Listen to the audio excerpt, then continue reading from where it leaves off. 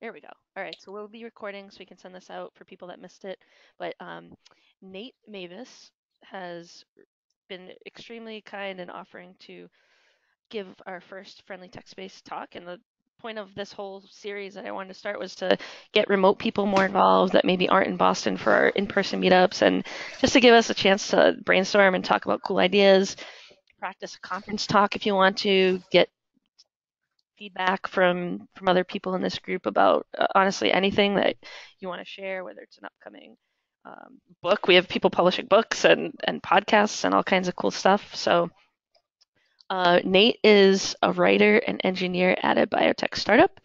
He has academic backgrounds in math and philosophy and non academic backgrounds in poker and podcasting, which is actually how I was introduced to him was via Angela Bassa, who is not here who I'm going to send this link to later. But thank you, Angela, for bringing Nate to this community. Um, all right. Uh, so Nate, I'm gonna. So we're we're good. Yep. All right. So thank you everybody for coming and listening to this talk. It's the first one in the series, so I think we should keep the goals modest. Um, so in roughly half an hour here, uh, I'm going to take you from uh, from zero to curing cancer. That's the goal, is for you to be in a position to cure cancer after you hear this talk, um, or at least to help out a little bit in, in the overall combined algorithmic effort to cure cancer. Uh, I'm going to go for about half an hour, but please, please, please, if anything I say is is not clear or if you're just stuck on some basic point, please feel free to uh, jump in chat and ask for a clarification. Um, if you have a more substantive question, we can save that for, for the end. Sorry, Nate, I just accidentally took your presenter privileges. Go go ahead and take it back. That's okay. Wow, that's uh. that's, All right, I'm, you, I'm going on mute and not clicking anything else. Go ahead. all right, very good. So. And uh, we're back. Very good. All right, good. So uh, I'm going to tell you today about sequence bloom trees. And sequence bloom trees are here to solve what I want to call a subset inclusion problem. So here is a slightly simplified scenario. We have some query, I'm going to call it the target. Uh, this can be just a little transcript, a little bit of text. It can be anything we're, we're searching for, but especially a string. And we have a set of references. So I've listed three references below, and, and we can imagine that they're very long. And our question is this given a target and some references, R1, R2 through Rn, in which references does the target appear? We just need a yes or no answer for each of the references. So why do we care about this question? Um, the reason I care and the reason that we really, really care about even small speedups in trying to answer this question is bioinformatics. We have terabyte and petabyte scale databases of sequencing data this is a real thing. Uh, this is an actual application that's happening now. And we ask questions like, which of these 250 experiments turned up this transcript? So here is a little bit of, you know, a little nucleic acid, acid sequence. Um, when we sequenced a bunch of people with colorectal cancer, did this turn up? When we sequenced a bunch of people of this descent, did it turn up? And so on. And these 250 experiments will all be in one big database that is searchable, but it's so big that you want to search it really quickly. So that's an actual application. It's what's actually driving the development of this algorithm, but you can imagine using it all over the place. So let's say, for example, baseball. If you believe uh, MLB Advanced Media's press releases, they're generating roughly seven terabytes of data per game, roughly 2,500 games per year. And you could imagine asking questions like, in which of these games did an event like this happen? You know, where do I need to look if I want to see a ball going exactly this fast or a player in exactly this, this position? And that's just conjectural. I'm just making that up. But the idea is it's a very general question, and we would like to be able to answer it efficiently. Another reason to care is that the answer is awesome. Uh, this is, I think, a really elegant uh, data structure. Um, a lot of there, there's a cool little intellectual tradition behind it. It's a wonderful case study in algorithmic optimization. There are all sorts of little questions you need to answer even after you get the basic idea down. Uh, third, it's a hot research topic in bioinformatics. So it's it's something that's at the cutting edge right now. People are publishing, people are publishing preprints, people are furiously trying to test all this stuff. It's something that's going on right now. And it has a lot of unanswered questions. So you, yes, you can internalize the stuff, read the preprints, and help cure cancer if you so choose. Right, so let's think about answers to the subset inclusion problem. The first one is, I think, pretty intuitive. Let's say that uh, your references are all strings, and the thing you're searching for is also a string. Well, you can stick all those strings together into one big long string. That's what I'm doing with the little colored stuff at the top half of the screen. Then use your favorite exact or inexact string searching algorithm to find inexact or exact matches in the concatenated reference. And this could be uh, Smith-Waterman or any of the zillions of descendants of Smith-Waterman, or it could be something like Boyer-Moore, or it could be anything. And uh, you could imagine finding all the matches in the concatenated reference. And I've marked those with X's in the, in the illustration there. And then once you have the matches, once you know exactly where those matches are, you can see which of the subsets have matches. So here uh, reference one would get a yes answer, reference two would get a no answer, reference three would get a yes answer. Yes, no, yes. So we would have solved the subset inclusion problem uh, by treating it as a string matching problem.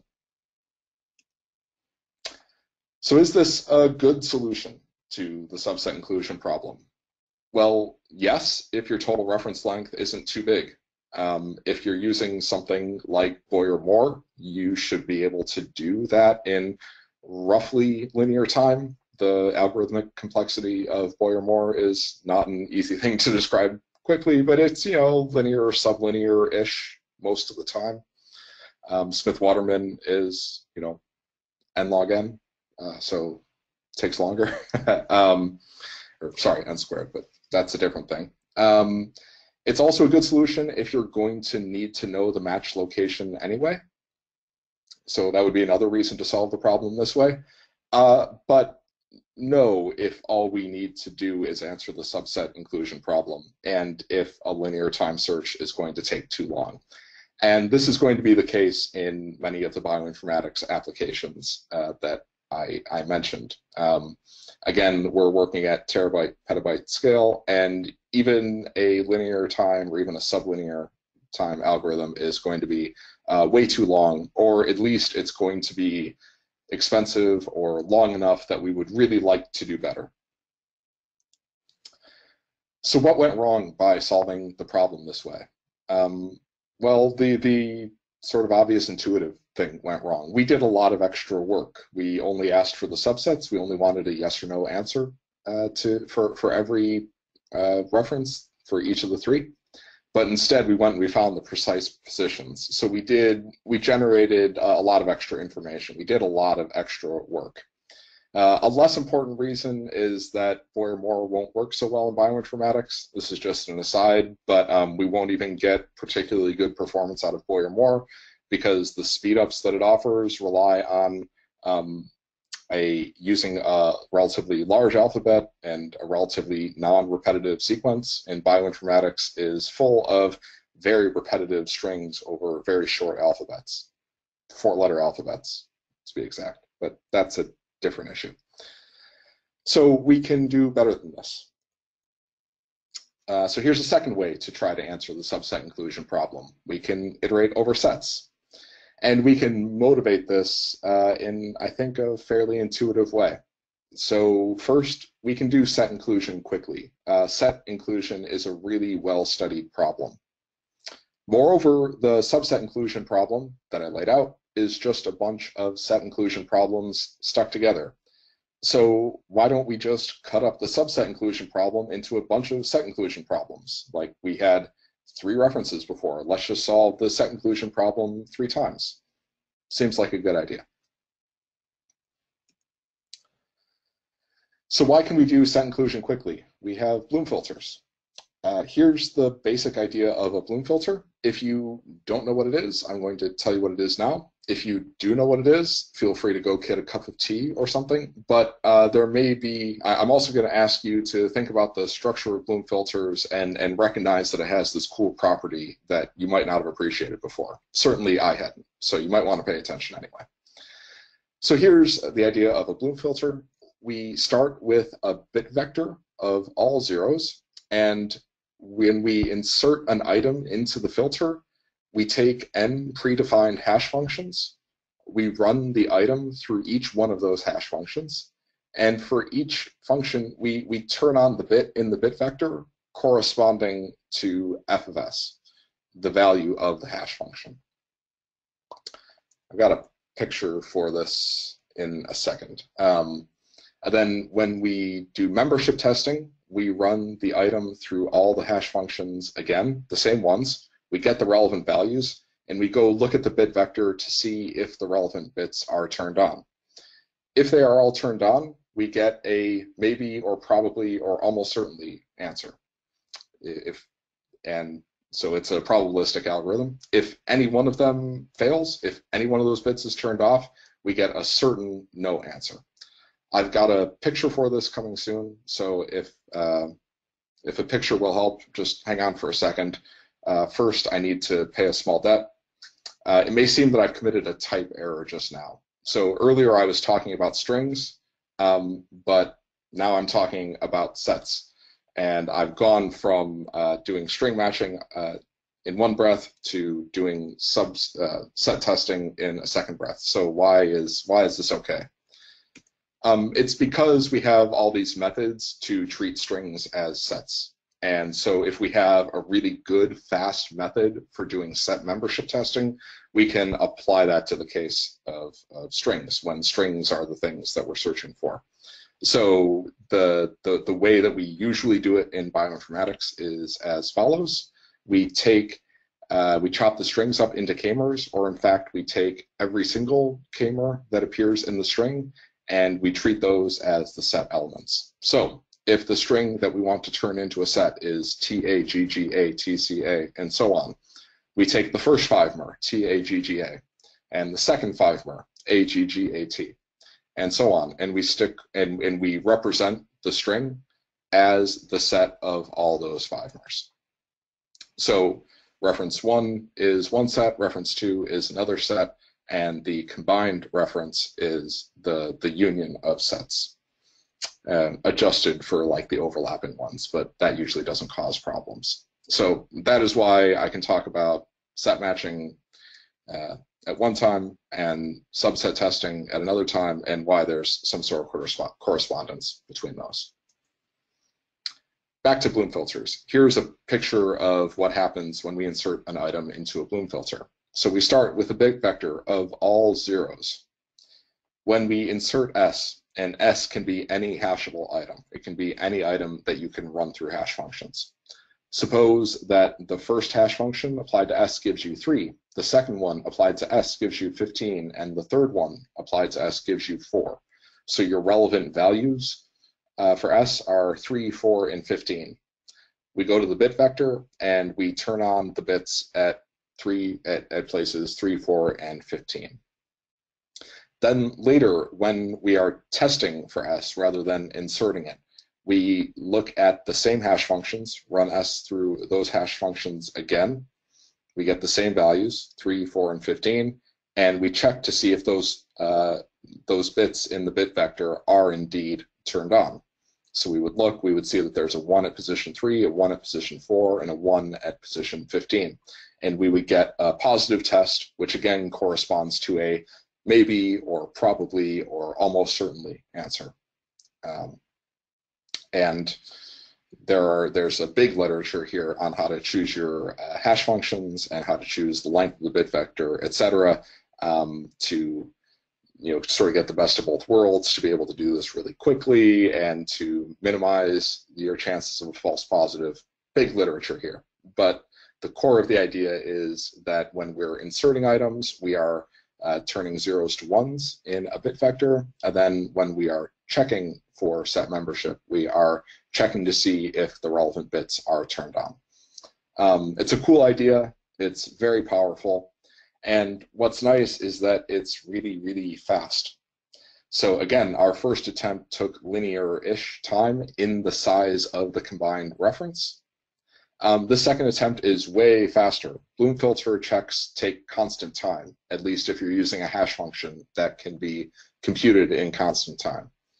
So uh, at the scales discussed earlier, this is much, much faster. It's linear in the number of subsets, not their total size. So again, in the actual bioinformatics uh, application that I, I, mentioned earlier, where you have you know, roughly hundreds of experiments sitting in a database that's enormous, um, yeah, it's going to be the order of the value that is like between two and 300 in some uh, real world examples. So that's that's pretty cool. That's a that's a much faster method, and um, so we've so we've improved upon our first attempt. But we can do even better. And again, at the scales that we see in bioinformatics, we should want to do better. And to see how we can do better, we can uh, think of Bloom filters as establishing a correspondence between sets of items on the one hand and bit vectors on the other. So again, on the left, we have R1, R2, and R3. By chopping them up into k-mers, we can treat those as sets. So we have a correspondence between sets on the left and bit vectors on the right. So a question, what happens when we test each of two references for the same target T? Well, we are going to run through T through the hash functions we are go- like we're going to test v1 for those bits. So in our example, we're going to look at places 3, 4, and 15 in v1. And then we're going to test v2 for those very same bits, 3, 4, and 15. Uh, and this means that we can do something cool if we want to test uh, for the union of sets simultaneously. Let's say we want to ask not is T and R1 and then separately is T and R2. But what if we want to test immediately to see if uh, T is in the union of R1 and R2? Well, that means we can just take the bitwise OR, and we'll get a few more false positives. But you know, if we construct our hash functions and if we take care of some of the technical details behind the scenes, well, we won't add too many false positives, but we'll be able to test for the union just in one go because again, we're looking for the bits at the same indices when we test each of the individual bit vectors. So on the left, I'm imagining doing a sort of set union or string concatenation, depending on how you want to think about it. And on the right, we see that we don't need to go back and, and uh, construct a whole new bit vector for that from scratch. We can just do a bitwise OR on the Bloom filters. And then we get another Bloom filter representing or approximately representing with maybe a few more false positives, the set union. And that's really cool. That helps a lot. This right here is the core insight behind a sequence bloom tree. It's, what, it's what's going to make everything else work. Why does it make everything else work? Why does it help? Well, we can iterate the procedure of finding a bit vector for a union of sets. And that means that we can do binary search on the subsets by putting the bit vectors representing the subsets at the leaves of a binary search tree and filling in the nodes above them. So we can start with four sets. And if we don't want to iterate through all four of them, we can, uh, above them, put uh, the, the union of S1 and S2 here, and the union of S3 and S4. And then above them, we can put the union of all four, and we can start the search there. So let's say that the thing we're looking for is not in any of the four sets.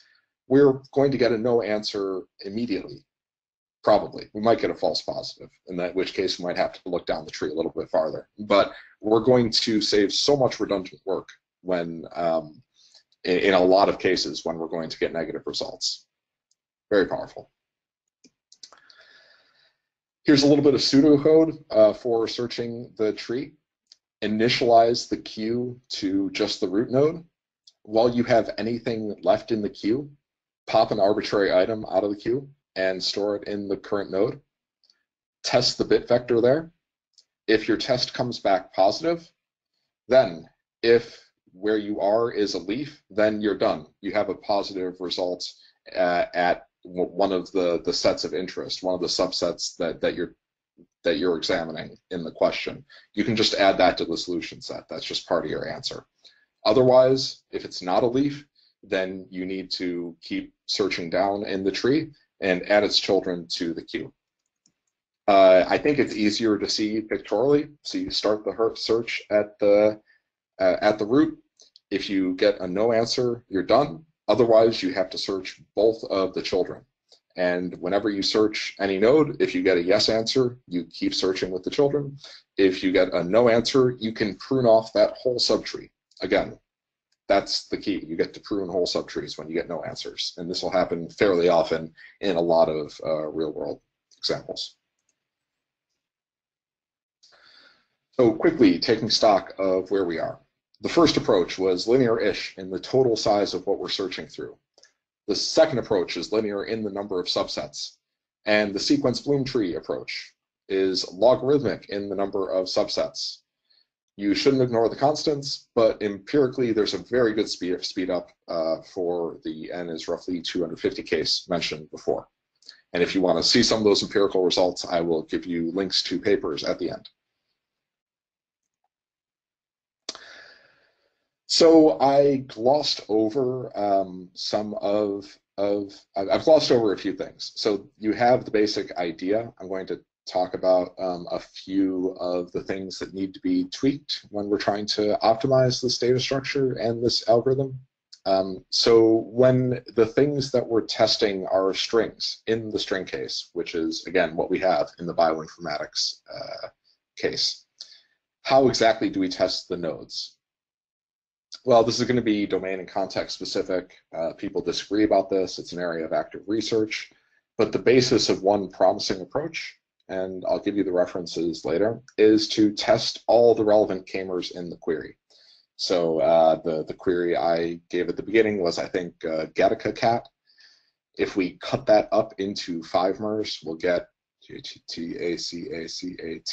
It's 10 long. We'll get six five mers and we test the node for all six of those five rows. And if at least seven of them, uh, at least X percent of them test positive, the query is considered to test positive. So you, you have some extra error tolerance there.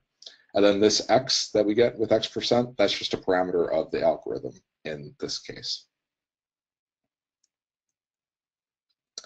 Another thing we need to think about is how to arrange the leaves. So the guiding intuition behind this aspect of, of tuning the algorithm or the data structure is this. The more similar nearby leaves are, the better. Uh, the fewer false positives we are going to get at intermediate nodes, and the more subtrees we can prune out early. So let's take a, just a toy example. Suppose our target appears in S1 and S2, but not S3 or S4. So the best answer to our subset inclusion problem is going to be yes, yes, no, no. Then let's imagine that we've arranged them in a tree the way we did before. So at the bottom of the tree, we get the yes, yes, no, no. when we examine S1 union S2, well, that's going to be positive. We're going to get a positive result there. When we go to the, the, the top of the tree, S1 union S2, union S3, union S4, we're going to get a, we're going to get a positive result there also. But S3 union S4, that's probably going to be negative. And that's really good because that means that we are spared the work of examining the S3 and S4 bit vectors directly. So that's a good thing. And the idea is that if we switch S2 and S3 in the tree, then what happens? S1 positive, S3 negative, S2 positive, S4 negative. S1 union S3, we're going to get a positive result. But S2 union S4, that's also going to be a positive result. So we have to do extra searches in that case. So the idea is that we get a worse result because we put dissimilar sets next to each other. So what exactly do we mean do we mean by dissimilar sets and and how do we efficiently construct a data structure so that they uh, wind up next to each other? Well, nobody knows, and this is where the community can use help. Um, one approach is a greedy algorithm. So you just sort of keep a like an ordered list of filters. And then when you're creating the data structure, you insert each new filter next to the one it most closely resembles. So it's a greedy approach. And closeness is here defined using the Hamming metric. For results using this approach, see Solomon and Kingsford 2013. I'll give you that, uh, that reference at the end. Uh, for another approach that I can't summarize quickly because it's way more complicated, uh, you can see a preprint from 2016, and I will give you that reference also. But again, um, one of the fun things is that if we get the leaves close together, uh, if we get similar sets close together as leaves in the tree, we can we can do better. We can prune more of the subtrees more quickly, uh, save more work, and and speed this up.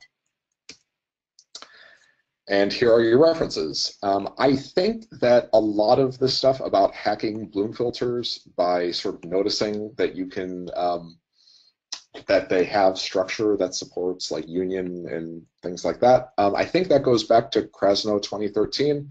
And I think she was working on distributed data. I think she was working on databases. Uh, I haven't read this paper super closely, um, but I think the ideas at least partly trace back um, to her work or through her work. In bioinformatics, this sort of got um, a big boost in 2013 when Solomon and Kingsford introduced sequence bloom trees, this, this data structure I've been talking about. The, they, they published it in Nat Biotech. You can go read the paper, and uh, I'll be happy to send out links to all of these um, in, in any form that you want you know, in Slack or an email or anything. But um, these are some papers where you can read about this stuff. And again, it's cutting edge. Uh, it looks like, again, really empirically, this does speed things up. And when you have, say, 250 experiments over a huge, that combined for a huge data set, even doing 250 constant time checks for everything that you're going to want to check is going to be very slow, or not very slow, but you can do better by uh, arranging all those bloom filters into a tree. Um, so that is that is a very short introduction to sequence bloom trees. I, I hope it was intelligible, and uh, I will be very happy to field questions. Awesome. Thanks so much, Nate. That was that was awesome. Um, uh, again, totally new topic to me, so this was actually really insightful to at least start understanding some of the basics. And we have a question actually from Brian. Um, i can unmute him too in case there's a dialogue. But his initial question was, how do these unions work or scale when the number of leaves is huge?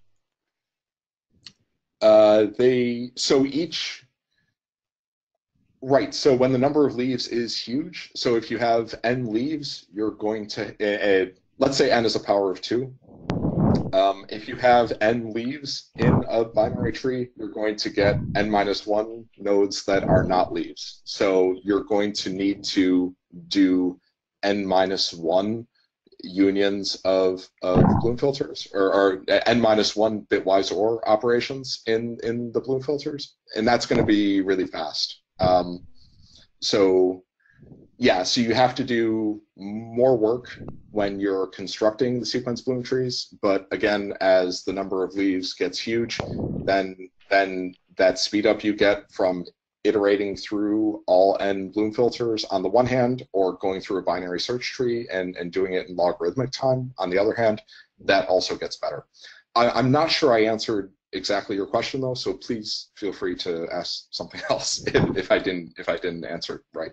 Yeah, no, um, I'll let Brian. He can type in chat again if he has a follow up. But we have, in the meantime, um, another question. Unless Brian, if you want to follow up with voice, you can do that right now. Go ahead. Um, you can. I'll I'll, I'll type my question because it's gonna take me a minute to word it. So okay, we'll go to the next one. We'll come back to you. Cool. Um, so we have another question from Will Dugan. He wants to can you explain again how one chooses K in determining the K-mers? Is there an optimal K in general? That's an awesome question. Yeah, that's great. Nobody knows. Uh, yeah, I mean, I, I think it's going to be context specific. Um, Yeah, I think k equals 11 has been used in some bioinformatics applications with with with uh, with good result. But um, like the number of times that people have actually built sequence bloom trees and and tested them on real queries that you might actually want to do, and then publish the results, um, can be counted on like one or two or maybe three hands. So we, we don't know exactly what, what the right K is going to be. It's going to depend on like how many, how often you get mutations and, and things like that. Can, Um, can you and, do? yeah. I have a sorry to like interrupt, but I think maybe I mean this is completely from coming from my gene set enrichment days. Like, could you do a permutation test where you you randomly shuffle the data and you keep alter increasing k until you start to get until you stop getting or start getting uh, significant results, right? So you could do like a kind of permutation tests in that sense with random data.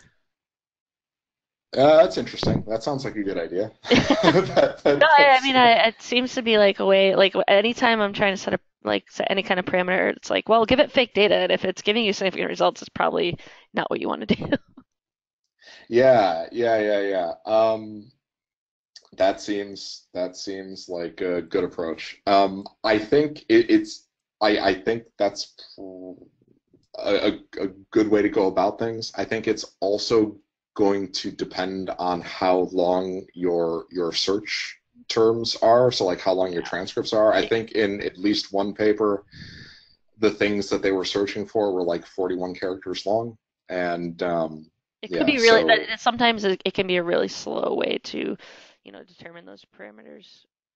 Yeah, um, but if you get like if you cut a, a, a 41 mer into 30 11 mers 31 11 mers. Um, and and if if you know all but one or two of them come back positive I mean if they all come back positive you you can be pretty sure um, under certain assumptions that that that that 42 mer is is in is in the thing you're looking for. Um, but that's just a long way of saying I don't know.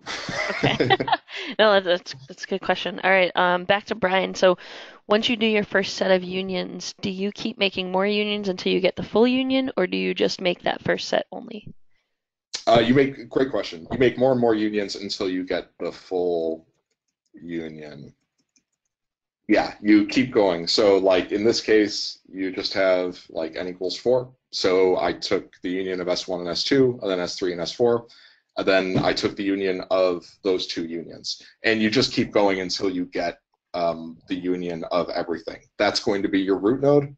And again, like that's going to let you get negative results really, really fast. And um, yeah, that that the the fact that you iterate the procedure, that's what gives you like the recursive structure that lets you put everything into a tree. That that that's what lets you do binary search on everything, and that's what gives you uh, the logarithmic time instead of the linear time.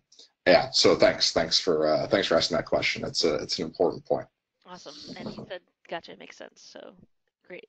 Uh, Dan Schmutz has a question. I'm going to let him talk and ask you. Go for it, Dan. Okay. Hey, I'm unmuted. Thanks, thanks for uh, putting this on, Tanya, and um, to the speaker, thank you for sharing your wisdom. Um, I'm not that familiar with this, so my question is more of a kind of a high-level question, just to understand how best to apply this. Um, maybe pass it along to uh, my brother who does a lot of genomics work. Um, I wanted to ask, the, essentially, the the tree search is really a way of kind of, uh, I guess, quickly winnowing out the ones that don't match in a sense so that you can focus on the ones that are important is that is that a, a good summary like Yeah, that's a- other Yeah, yeah, yeah. That's a great that's a great summary. And and if you don't want to think about the tree, you can just imagine doing like a two-stage thing where on the one hand you you uh, you have n membership tests. So like here four, where on the one hand you have all four uh, Bloom filters there waiting to be tested, and and you you're going to scan through them. But you can imagine doing like a first stage where you have a Bloom filter representing the whole thing. So no no intermediate levels.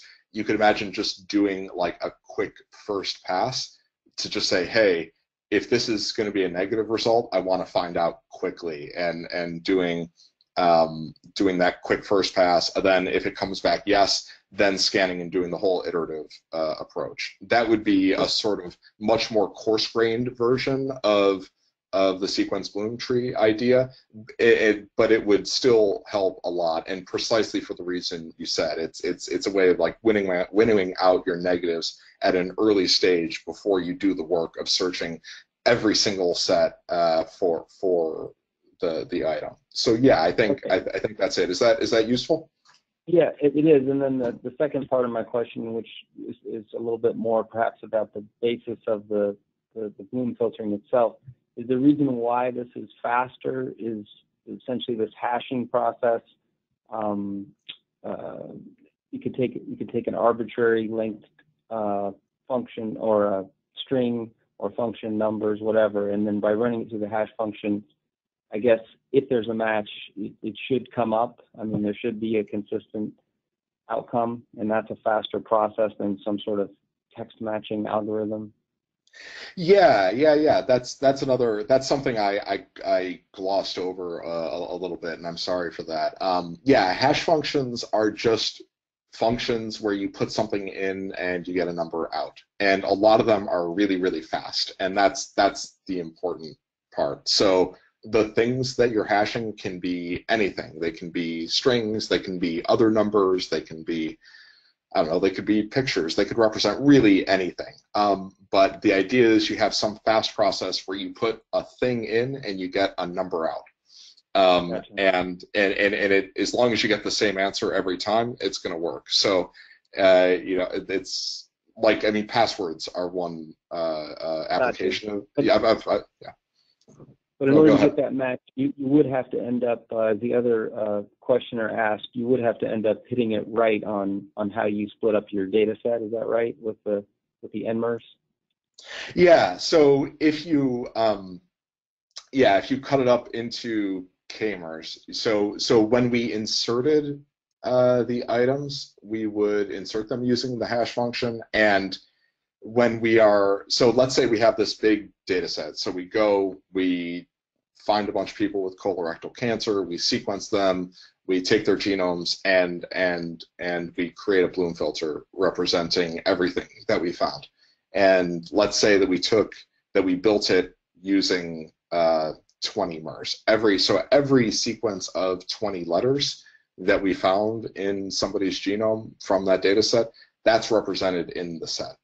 And um, so when we look for a transcript, the transcript might be um, longer than 20 letters, but the things that we can test for are just 20 letter subsequences. So, uh, so yeah, so and, and, that's and that's just sort of X hypothesized. It takes a while to build these bloom filters, so um, yeah, so so what we have is like a sort of magical machine where if you put in a 20 letter sequence, it'll spit out an answer. Either we definitely didn't find that 20 letter sequence in the whole data set, or we maybe probably almost certainly did. Um, so yeah, so if you, but if you're searching for something that's longer than that, you can just feed in every 20 letter subsequence and see how many yeses you get, and then go from there. Gotcha. Thank you so much for your time. I'll go back to mute then. Oh yeah, hey, thanks for the question, and thanks and thanks for listening. Yeah, no, awesome questions, guys. Uh, got time for a couple more. Um, throw it in the chat, or I can unmute you. I think this was really awesome. Nate, this was a great talk, and obviously, with there's a lot of good questions. Um, here's a here's a question coming in late while my dog actually harasses me. Um, Pat Brophy says, I came in late, but are you running these computations or just figuring out the optimal algorithm? If so, what kind of hardware are you using? Um, so I'm just describing the data structure in general. Um, the yeah, the stuff is huge. It runs on the cloud. Uh, it's on some AWS instances, I think, in actual applications, or I guess in the Solomon and Kingsford case, on some cluster they have at Carnegie Mellon, I think. Um, yep yeah, but I'm just describing the data structure now. And um, the hardware side of it is A, something I don't know much about, and B, something that could definitely, definitely, definitely uh, be studied. And um, and while I'm talking, I want to say thank you to Tanya for for letting me give this talk. It was it was a it's it's cool to be able to to do this, and uh, thanks for everything you do with Friendly Tech Space. It's a it's a cool place. Well, thank you guys. You guys are what makes it awesome. Uh, it's really it was a selfish uh, idea of my own. Once I started out with my own and working remote, to just be connected with uh, a bunch of people like you to just keep my brain in shape. Uh, and, you know, talk to people when I'm remote. But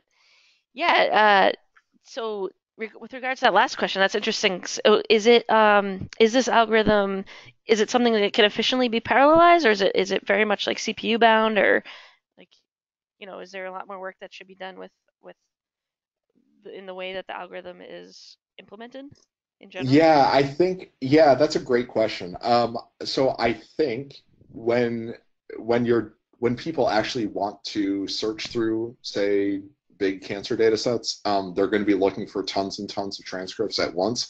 And I think the individual searches are definitely parallelizable. And I think some effort has gone into that. So, um, like, we want to see whether any one of these 5,000 transcripts has appeared in any one of these 250 experiments. Um, so each one of those searches will proceed as I described here, and I think those like 5,000 searches can be efficiently parallelized. Um, as for what other, excuse me, uh, parallelization opportunities there are, I, I don't know. I haven't thought much about that, and it's it's it's not something I've thought much about. I think, yeah, I, I think the answer is excuse me. Um, yes, but I don't know exactly how. All right, awesome. Well, all good questions. Uh, you guys, thanks for for hopping on after work. And Nate, of course, thank you so much. Pat, Pat says no, thank you, Nate. And Mara says clap, clap, clap, clap. She wanted to know if there's a clap emoji um, for GoToMeeting. uh, it looks like Dan also wants to pass along the talk to to a few other people. So obviously this was a, a hit. Um, but I'd love for other people to keep this going. Let's. I'm trying to do this at least once a quarter, maybe once every two months, just to keep our remote people involved. But you know, I mean, whether you want to practice a conference talk or give any kind of talk on a topic of your choice, uh, please let me know. Just send me a message on Friendly Tech Space or email me or whatever. Um, but thanks, Nate, for being our like guinea pig. And I finally caved and bought GoToMeeting as much as I didn't want to. so sorry for the, the, little bit of hiccups, but um, this was awesome. So I will uh, I'll send the recording around and thank you guys again. Um, yeah. Be sure to toss Nate some tacos in in Slack. yeah. Thanks very much. All right, guys. Talk to you later.